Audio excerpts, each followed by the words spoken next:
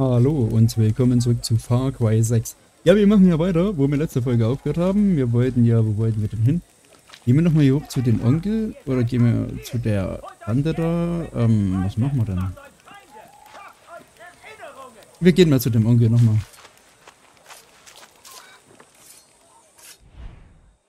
José soll mächtig sauer sein wegen dem Gift. Du hast einen kurzen Prozess mit seinem Laden gemacht. Vielleicht habe ich mich in dir geirrt. Vielleicht. Also bitte ich dich jetzt um einen Gefallen. Unsere Leute vergammeln in Josés Gefängnissen. Einer von ihnen, Miguel, ist wie ein Sohn für mich. Wir brauchen einen Gefängnistransporter, um sie rauszuholen. Klau einen, dann treffen wir uns an der Tankstelle beim Gefängnis. Wir fahren rein, laden unsere Leute auf und verschwinden, bevor irgendjemand was mitkriegt. Ich vertraue dir, Turi. Also, verkack es nicht. Okay, Meister. Lass dir nicht so viel Zeit mit dem Gefängnistransporter. Könnt ihr das riechen? Das ist der Geruch der aufregendsten Scheiße, die ihr je gesehen habt.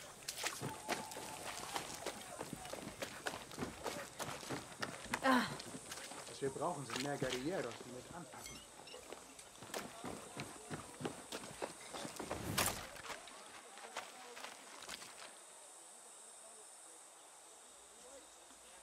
Ach, okay, und das soll es jetzt sein. Ach nee, ich wollte schon sagen. Oh nein.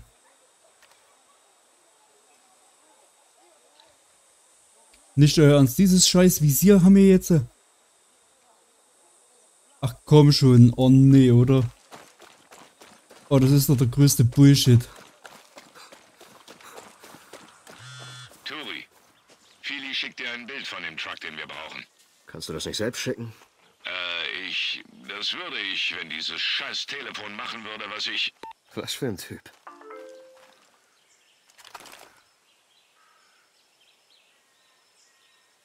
Okay, irgend so was Gutes. Also, so einen haben wir, glaube ich, schon mal gesehen.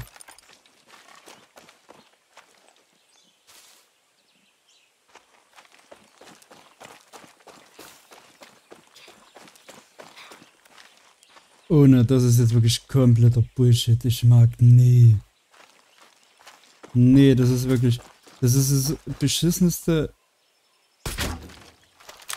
Blub, blub macht's.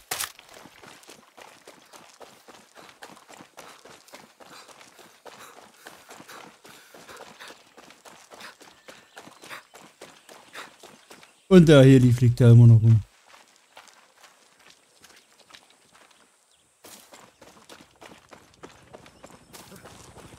Komm her! Ja, ja. Elvis Carballo lässt mich nicht in Ruhe. Er sagt die ganze Zeit, dass er Hilfe bei ein paar Besorgungen bräuchte. Kannst du ihn mir vom Hals schaffen? Sehr nett von dir.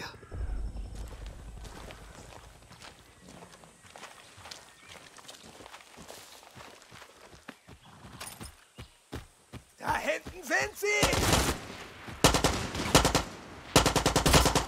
Er ist unterwegs! Deckt mich!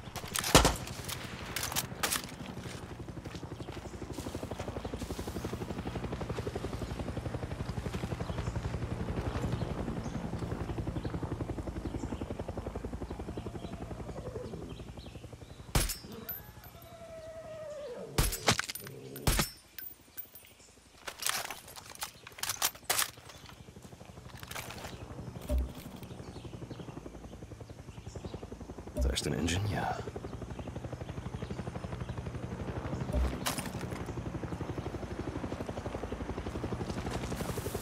Also ich finde das ja mal kompletter Bullshit, muss ich wirklich sagen. Also, nee, das gefällt mir überhaupt nicht, dieses...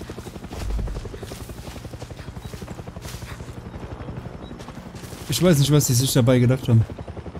Ein Alarm.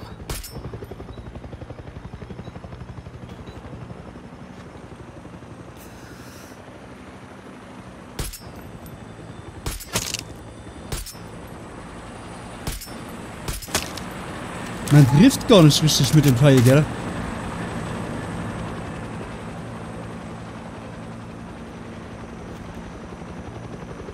Luftunterstützung.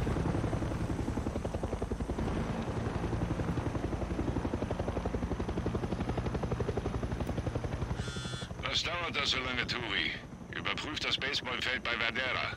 Da parken sie immer ihre Fahrzeuge. Verstehe. Gracias.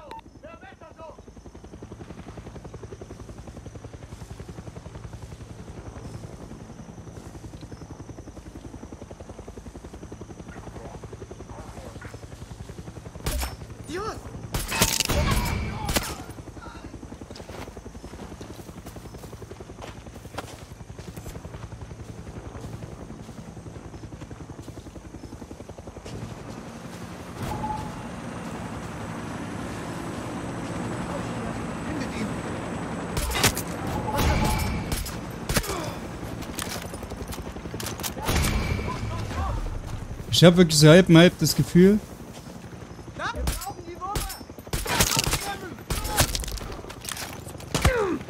dass wir mit dem Ding sogar noch fast weniger Schaden machen.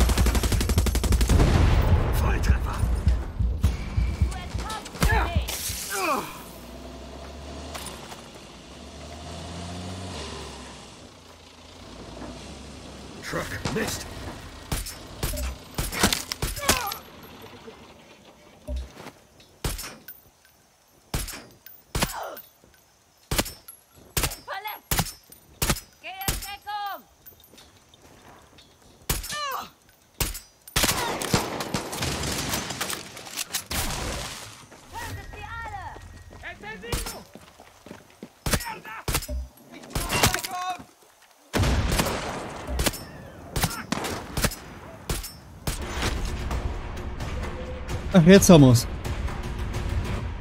Sehr schön. Hat ja lang genug gedauert. Ich finde wirklich, mit den Teil mache ich viel weniger Schaden.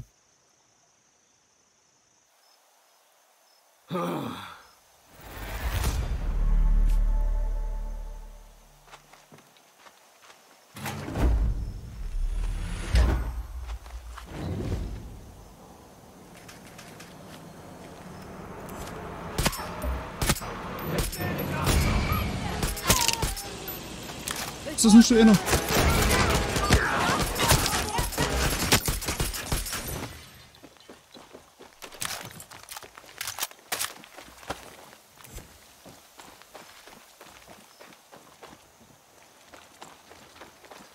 Ist das nicht so einer, so ein Truck?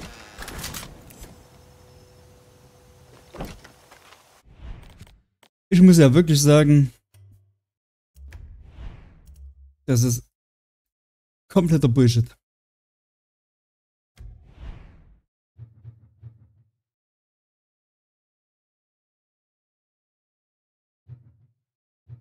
Ah, okay, ich muss die so lassen.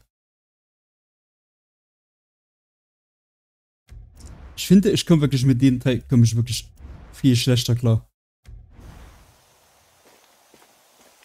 Dale suave. Hey, du da!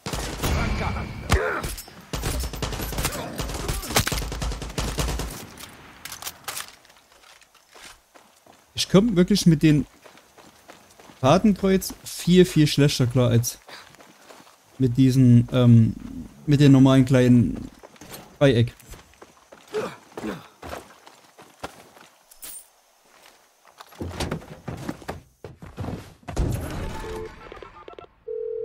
Carlos, ich hab den Truck. Gut.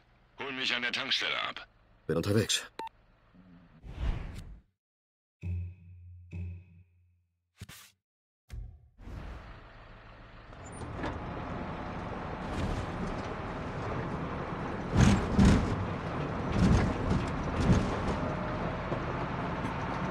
Also das Fadenkreuz, das ist ja wirklich... Obwohl ich eigentlich mehr Schaden machen müsste, gell? Oder was heißt mehr Schaden? Sage mal! Alter, wo habt denn ihr das Fahren gelernt, sage mal?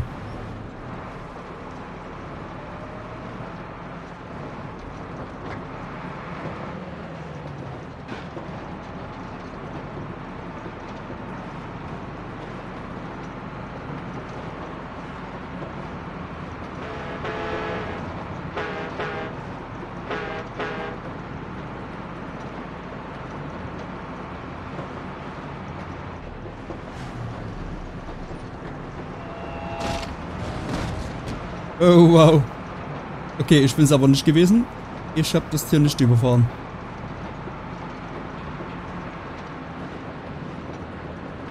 Esta es Radio Verdad, la estación nacional de Yara.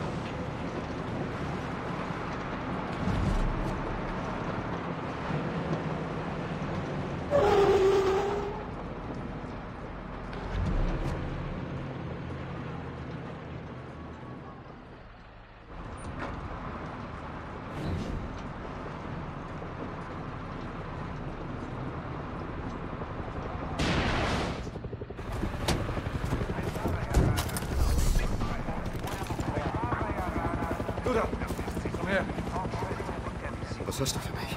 Geld ist eine Sprache, die jeder versteht. Hier werden die Vorräte aufbewahrt. Danke dir.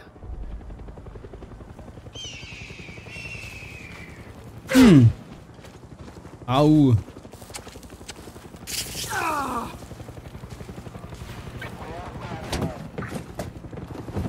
Ich muss Carlos abholen. Ja, ja, wir sind ja schon auf dem schnellsten Weg.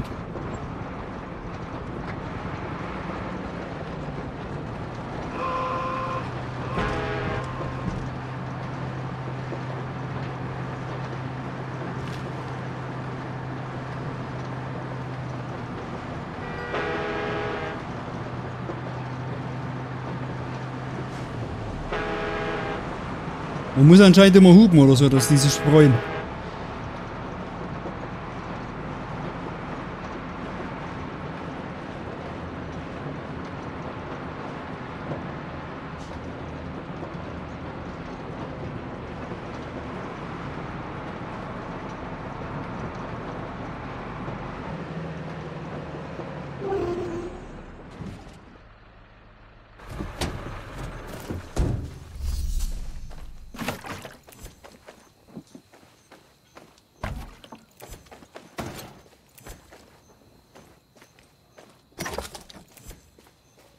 Okay.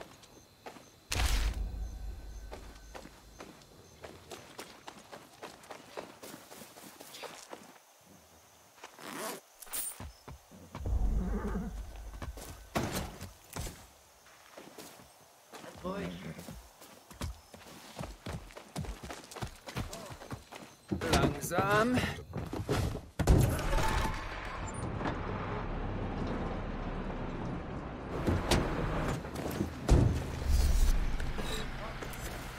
Okay, jetzt haben wir hier noch gleich was. Gracias,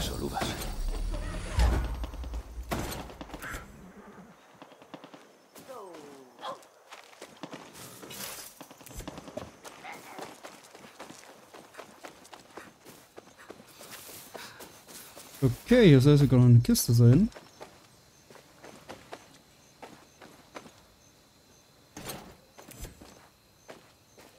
Jetzt müssen wir bloß irgendwie. Hier ist noch mehr.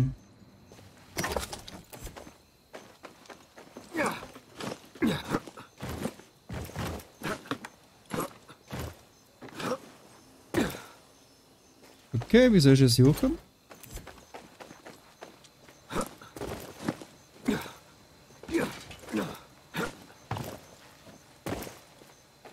Wie soll ich hier auf die Kiste mein Freund?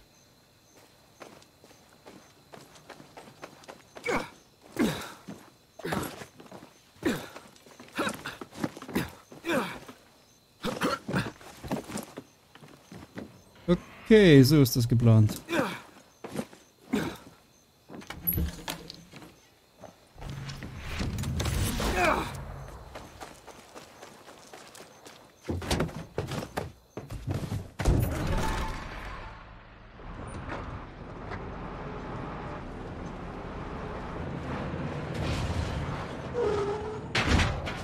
Bong. Wow, ein echter Verkleidungskünstler. Klappe zu und setz dich nach hinten. Okay.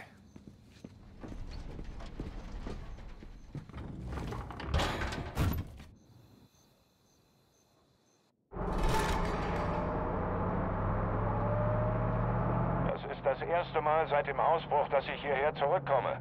Meine Kinder sind hier früher zur Schule gegangen. Wie lange hast du gesessen? Acht Monate, vielleicht länger.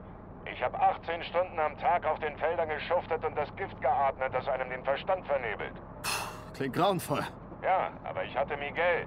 Wir haben uns gegenseitig Kraft gegeben. Stimmt. Du meintest, er wäre wie ein Sohn für dich. Er ist der härteste Kerl, den ich kenne. Ich habe ihn wie mein eigenes Kind aufgezogen.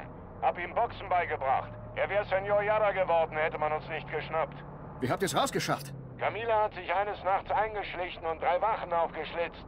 Sie hat zwei Kugeln eingesteckt, eine Geisel genommen und Fili und mich rausgeholt. Oh ja, klingt nach Espada. Ganz mein Mädchen. Aber sie konnte Miguel nicht finden und der Aufruhr wurde immer größer. Also haben wir ihn mit vier anderen zurückgelassen. Ich hoffe, er hat es irgendwie geschafft. Wir kommen näher. Klappe halten.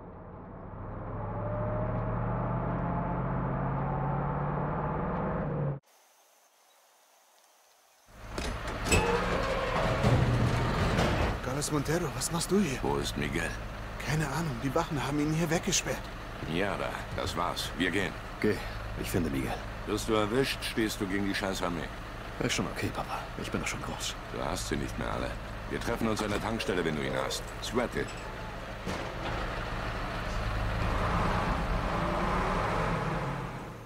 Okay, na, wir sind doch schon groß. Bebinga. Ich weiß gar nicht, wie dieser Typ aussieht. Na los. Verfluchte Ding. Die Viro ist das Lebensblut in den Adern von Yara und Madrugada ist das Herz. Libertad will den Kreislauf unterbrechen. Wir müssen unsere Tabakfelder verteidigen. Wir müssen unsere wertvollen Vorräte des pflanzlichen PG-240 schützen. Ich sehe dich, Ingenieur. Terroristen sind nicht besser als Libertad. Wenn sie Erfolg haben, wird der Rest von Yara welken und sterben. Seid wachsam. Unsere Zukunft wächst auf diesen Feldern. Wir haben einen Sunny. Jetzt komm schon, na los. Dieses verfluchte Ding. Okay, wir müssen hinten vielleicht irgendwie an die Alarmanlage erstmal rankommen. Die Soldaten hier sind alles.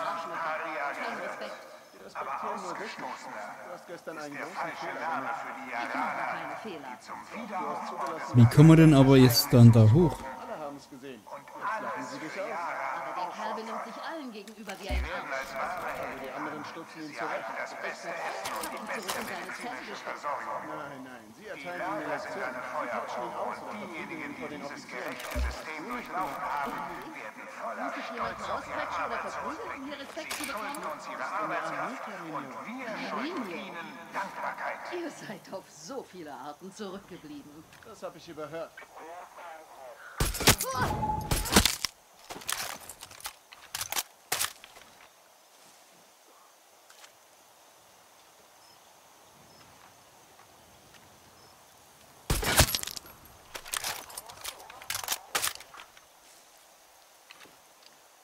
Jeder wahre Berater weiß, es gibt nichts Wichtigeres als Familie.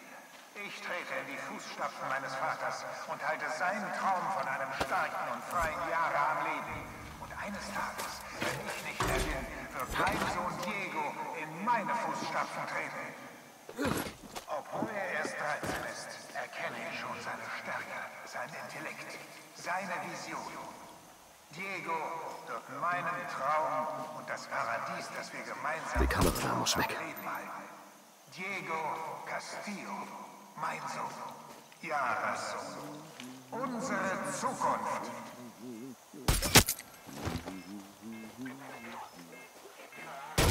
Fertiggerufen.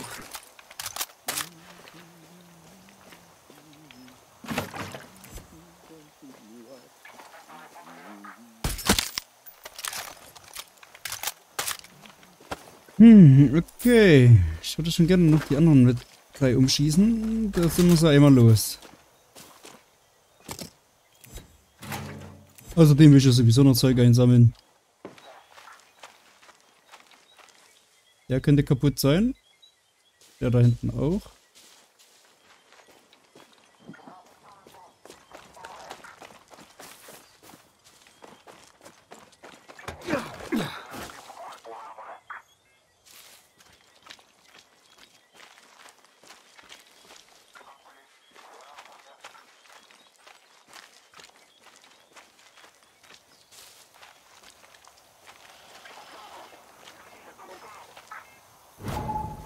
Wow.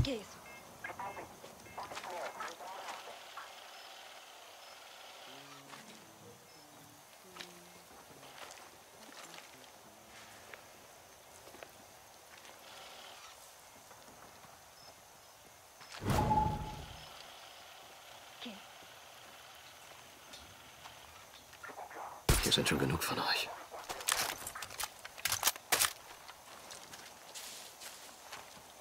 Das sage ich mir auch, gell? Es sind schon viel zu viele.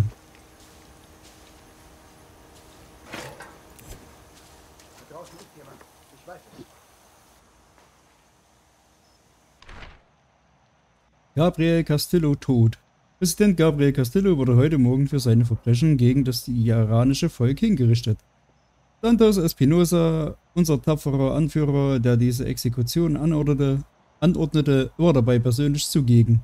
Das Schicksal von Castillos Frau und Sohn ist weiter ungeklärt.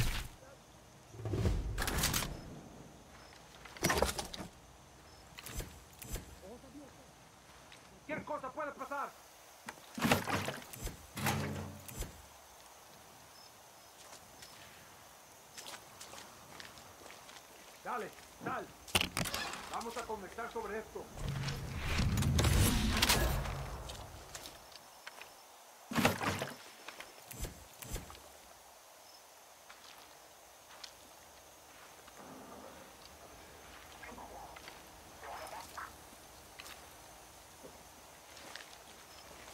Oh, haben die Witterung aufgenommen?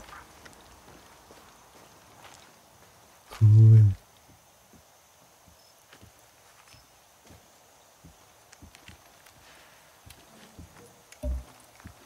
Scheiße!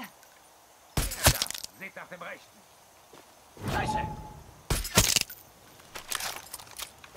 Cuidado.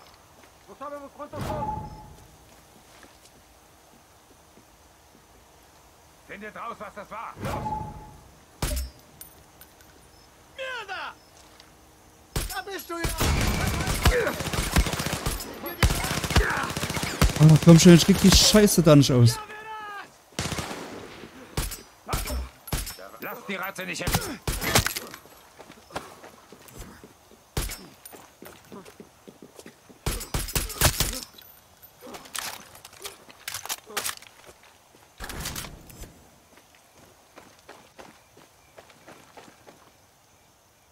Okay, ne, wir haben dann doch rausgekickt. Okay, warte mal.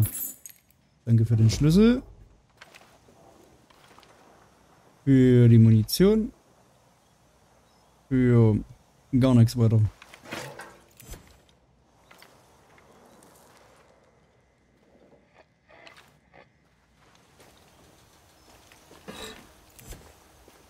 Hm.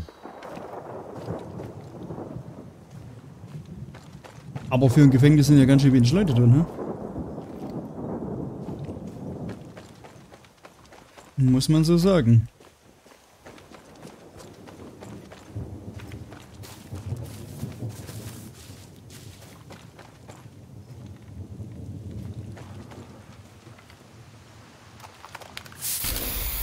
Tja, das kommt davon.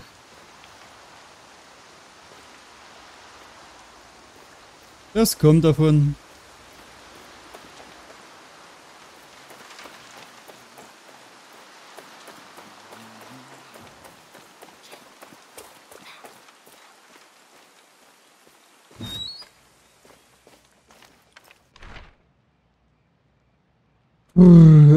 Okay, nein, das lesen wir nicht.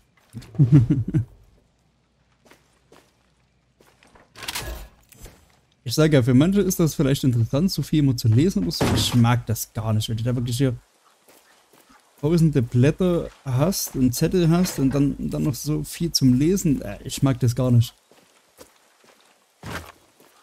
Ich meine, ich will nicht alleine, keine Ahnung, von 10 Stunden, 7 Stunden mit Lesen verbringen.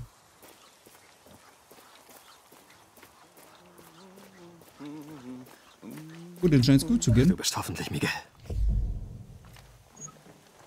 Lass uns schnell von hier verschwinden. Geh vor. Okay, ich sag ja, Tag 200, Fragezeichen. Carlos, ich habe Miguel gefunden. Gute Arbeit, Turi. Dann hol ihn jetzt da raus und wir treffen uns an der Tankstelle. Okay.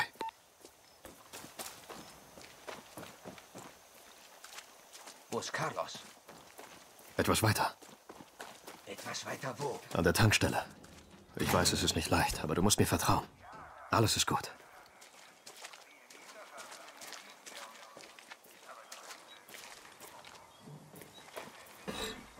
Okay, wie kommen wir denn jetzt hier raus?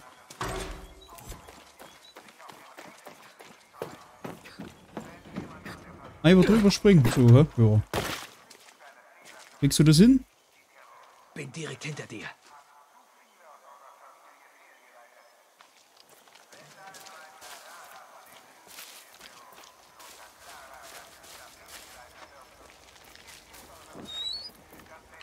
Ah, okay, man könnte ja auch so rausgehen, gell?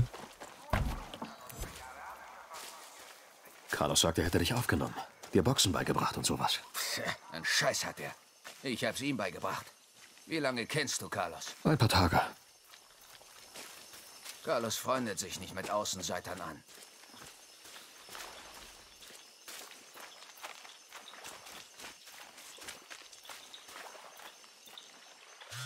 Danny, das Militär lagert einen Teil des abgereicherten Urans bei diesen Flugabwehranlagen. Besorg mir etwas davon, dann kann ich dir mehr Supremos bauen. Und wenn du dabei die Flachs ausschaltest, kannst du dich frei durch Yaras Luftraum bewegen.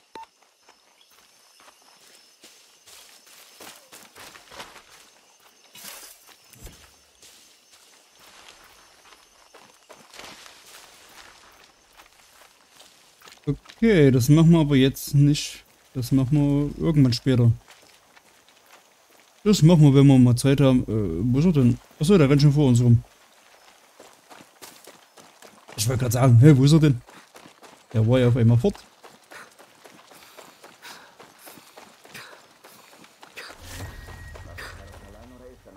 Acere, du stellst viele Fragen.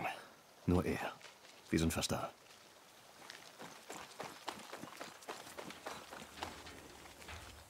Ja komm, was ist los mit dir? Nicht schlafen, Fräulein.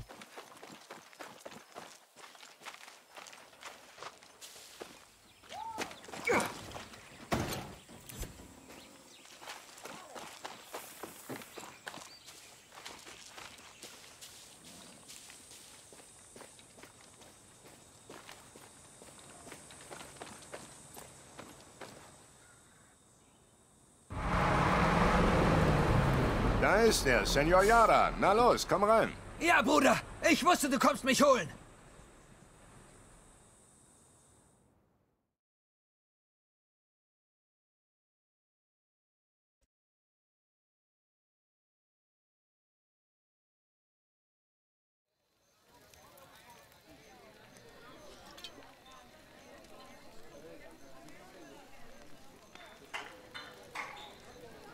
Honjo! Acere! Du siehst fertig aus! Ich dachte, eure Vorräte wären rationiert. du Drecksack. Noch trocken. Das ist gut. Ich trinke seins. Miguel. Es tut mir leid, dass ich dich nicht früher geholt habe. Ich hab's versucht. Ich hätte dich niemals vergessen. Hör auf mit dem Scheiß. Wir wollen alle nur überleben, Bruder.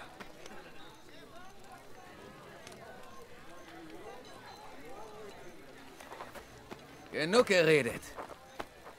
Gib mir diese scheiß Gitarre.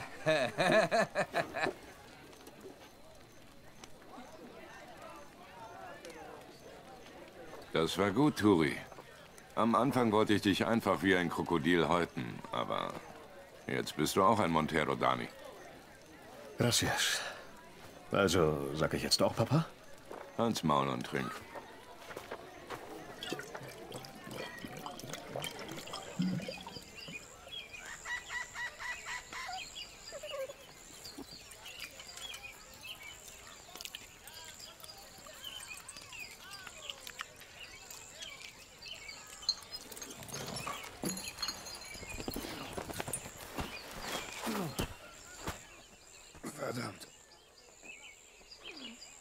Wo jemand blau.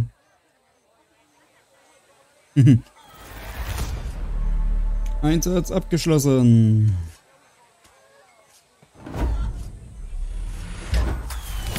Rangaufstieg 4.